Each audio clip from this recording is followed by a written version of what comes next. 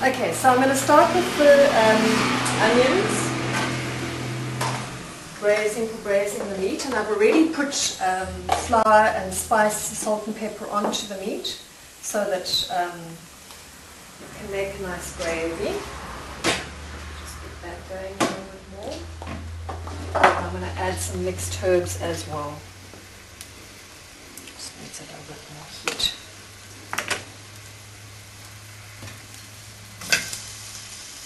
and I'm going to put curry powder. So we're making a lamb stew, which once it's made can sit in the hot box overnight so that it can actually cook really slowly because the slower it cooks, the more tender it is and the more nutrition mm-hmm. stays in the food.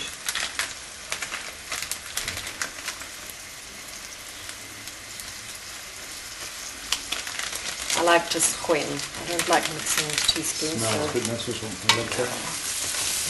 And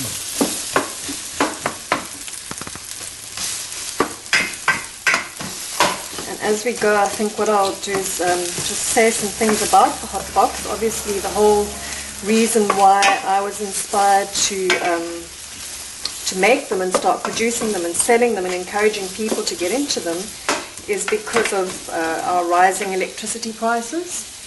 And um, also just to sort of have a bit more of a consciousness around the energy we use and where it comes from and how we can actually conserve energy by using alternative methods. Um, so now the hot box is actually a very old um, concept.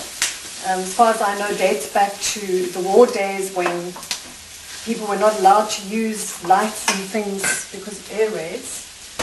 And they used to wrap up their food in what they called a straw, straw barrel box.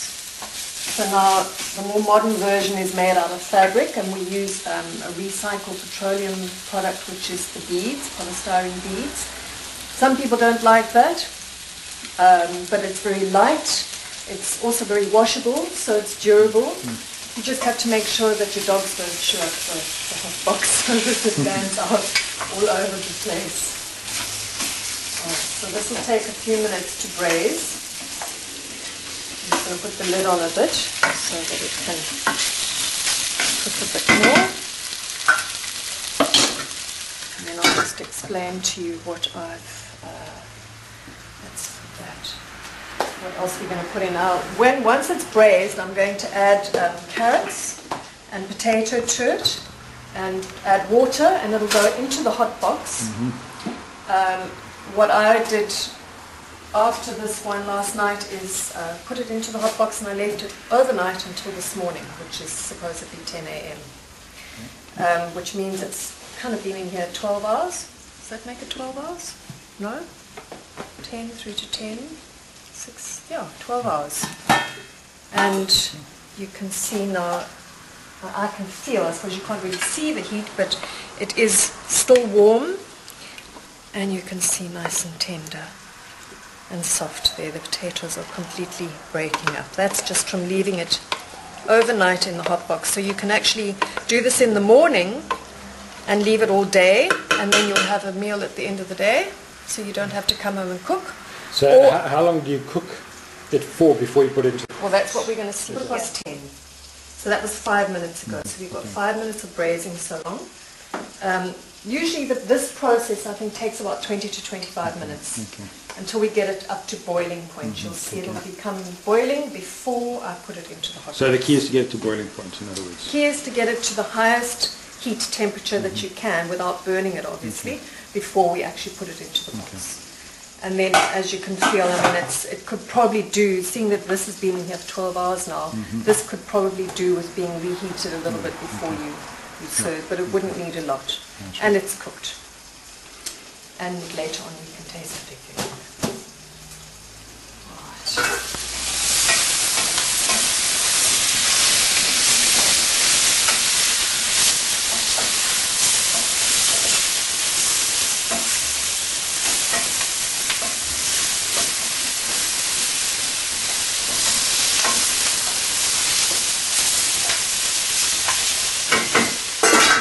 Okay, that's coming along nicely.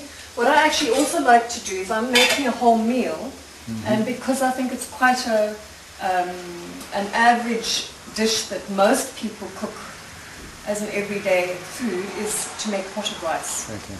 Um, potted rice is incredibly easy to do in the hot box because it doesn't actually require um, as long as cooking time as we're doing with protein, which needs more, more heat to break down. So um, we just bring the boil, boiled water up to boil with the rice in it. So I'm adding rice to this now and a little bit of salt for taste. And we'll get it right up to boil and then I'm going to put it into a hot box. And perhaps by the time we finish, we'll actually see it starting to fluff. okay. Um, most times, depending on what rice you're cooking, this I'm doing white basmati rice. This takes very short time, whereas a brown rice, being harder with more uh, of the, the husk on it, will take a bit longer. So that we've got going.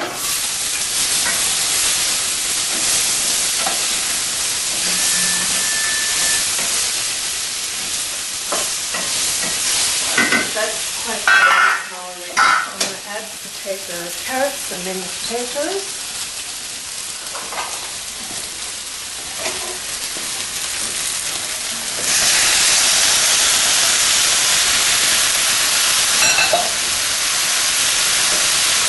Add spring water rather than tap water from the spring. About two to three cups of water is good so that the potatoes are actually almost submersed. And then I'm going to let this just get the heat up again because the water's cooled it down.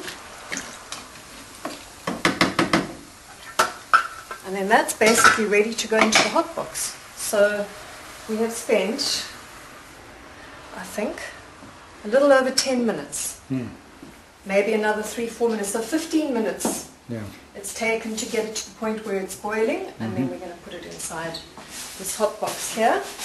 And what I like to do is I create the hole for the pot, and I take a dishcloth. That just uh, helps the inside of the, the hot box to stay clean in case it gets spills.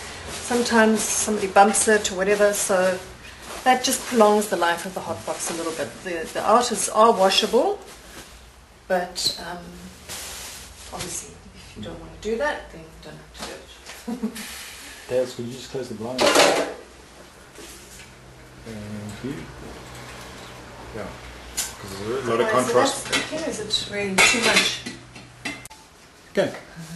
So um, the question to me is how often have I used the hot box? Um, and uh, I, I mean, it really depends on, on kind of routine and, and what people do in their lives. I find that it helps me immensely because for me to come home at the end of the day when I've been out working, um, I'm a single mother, so um, the end of the day is an exhaustion point for me, and I really don't feel like having to get into a whole cooking thing. So either in the evenings, late in the evening, I put something together.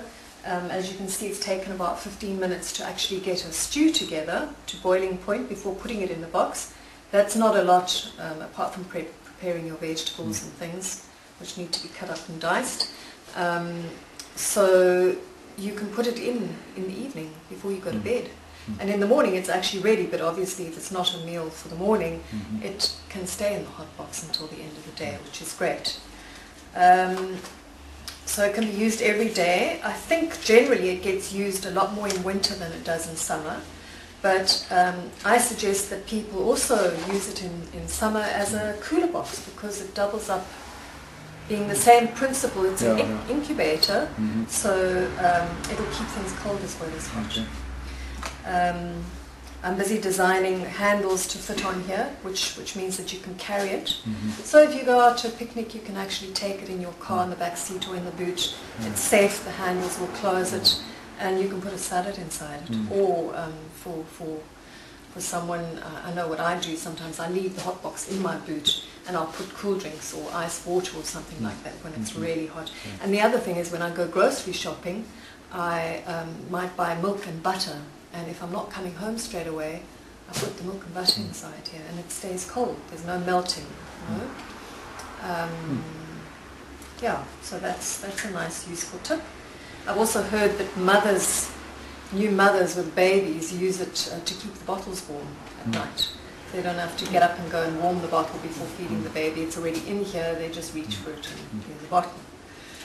Um, along with the hot box comes this little booklet, which tells you the whole history of, of uh, hot boxes, where it began, which I spoke a little bit about earlier. Let's hold it up again. Okay. Um, it tells you how to use it, the basic principles of how to use it, um, that it's an insulator, that uh, you need to get your heat up in your food on the stove before putting it into the hot box, and then in the hot box the heat keeps the food cooking, um, getting a much more nutritious meal, saving electricity and saving time, which is, which is great for most households.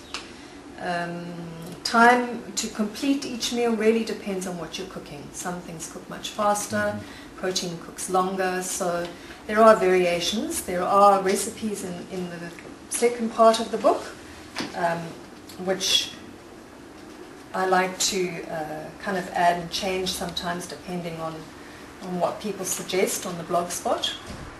Uh, so there's a rice recipe, there's a French onion soup recipe, butternut soup, there's an old-fashioned bean soup, Irish stew with lamb, oxtail stew, which is a nice South African recipe, most people like, and there's uh, beef stroganoff. Okay. Um, you are encouraged on the blog spot, which is on the back here. That's http uh, hotboxseats.blogspot.com is to share your recipes. Put your, the recipes that uh, people sort of enjoy using themselves and spread them around. Let people share them. Okay. So Are, are people sharing their recipes? um, you know, I don't, I haven't actually checked lately. I haven't checked directly lately, but what I find is when people meet me, they tell me, oh, they do this and they do that, and to send me the recipe. So I've got a collection of recipes which will go into here. Some more recipes. All right, this is going full steam ahead, so I'm going to turn it off. And let's just check what time that was. So that was 15 minutes. So we're going to put it inside this one now.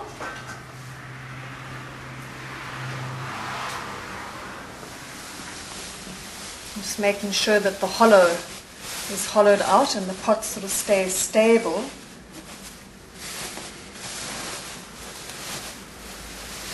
Sink right into the middle. And put the lid on top. Now, of course, one of the reasons why I called it a hot box seat is that you can sit on it. Hmm. You want to take a seat?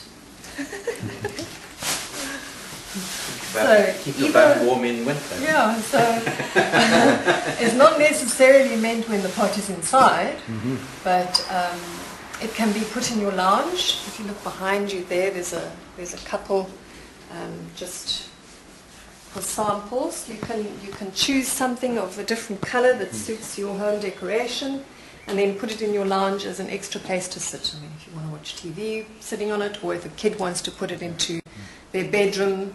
Um, it's, it's, it's just one of those comfy, casual kind of things that doesn't have to be hidden in a cupboard because you're not using it, which is what people always complain about with a hot box. As soon as you say hot box, they are no, no, no, no, they don't want they don't want something lying around, you know. So I've tried to design it so that it um, has another function.